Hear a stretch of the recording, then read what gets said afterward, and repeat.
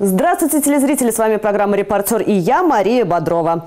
Не успев начаться рабочая неделя, уже перевалила за экватор. А это значит, что в среду уже можно дать себе немного расслабиться. Сегодня будем раскрывать тайны одного из легендарных жителей нашего города. Заслуженный артист России Виктор Евграфов провел творческий вечер. В его жизни было больше 20 ролей в кино, тяжелое расставание и даже клиническая смерть. Что так хочет вернуть Виктор Евграфов и как найти свой путь в жизни. История от первого лица. Он умирал 13 раз по просьбе разных режиссеров, а потом снова появлялся в кадре, проживая жизнь для других. На его счету больше 20 ролей в кино, харизматичный, немного суровый и неоднозначный. Он может рассказывать серьезную историю, а уже через минуту рассмеяться, и глаза будут светиться добротой. В нем, кажется, весь мир, и этот мир только его, Виктор Евграфов, до конца не узнанный, еще не всеми понятый и так много желающий сказать. Не доиграл, боль, конечно, боль. Я не могу смотреть фильмы, я не могу смотреть, потому что у меня ностальгия, я как бы, так сказать, это э, переживаю очень сильно. Творческий вечер его имени на сцене Виктор Евграфов, желающий говорить и желающие слушать. Биография в кинокадрах и историях со съемочной площадки. Евграфов родился в Самаре, в детстве мечтал стать военным и даже закончил сержантскую школу, но судьба повела его другой дорогой. После 20 лет он решил освоить актерскую профессию и пошел учиться в ГИТИС после выпуска роли в кино и театре. Я снимался один, один раз у режиссера, потому что как бы вот это непонимание. Я так и не нашел своего режиссера, но он ушел из жизни раньше. Где-то я учился на втором курсе, я поступил очень поздно, в 25 лет это практически невозможно было. Я хотел работать с Шукшиным. Вот. А понимание какое-то вот среди режиссеров, у которых я снимался, я не нашел.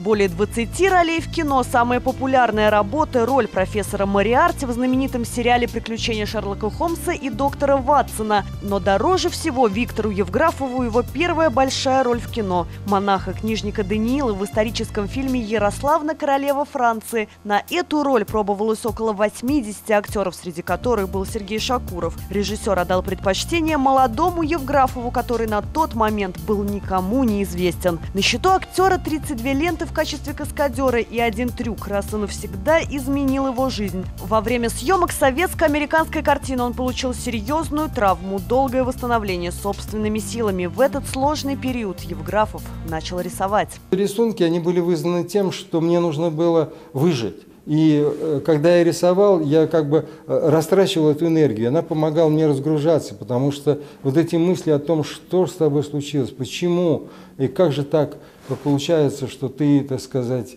э, был выбит из колеи. Около полутора тысяч работ он сжег, остальные увидел мир Евграфов, автор уникальной палочной системы гимнастики, которая помогла ему заново научиться ходить и жить. Обо всем этом теперь слушают студенты на лекциях. Виктор Евграфов выпустил несколько курсов в одном из самарских вузов. Вот эта ностальгия, она присутствует. То есть недоигранность вот в связи с травмой, которую я получил на американской картине в «Империи орлов», где я работал в качестве каскадера. Вот. И поэтому, так сказать, для меня это, в общем-то, выход. Для меня это э, как бы отдушина некая.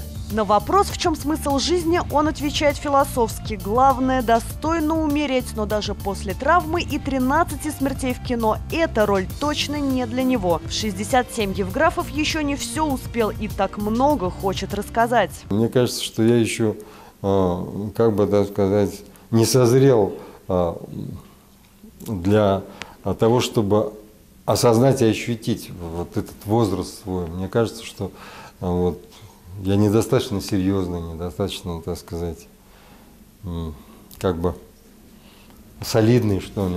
Харизматичный, немного суровый и неоднозначный профессор Мариарти, князь Галицкий, монах, книжник Даниил. Его лучшая роль не сыграна. Пока.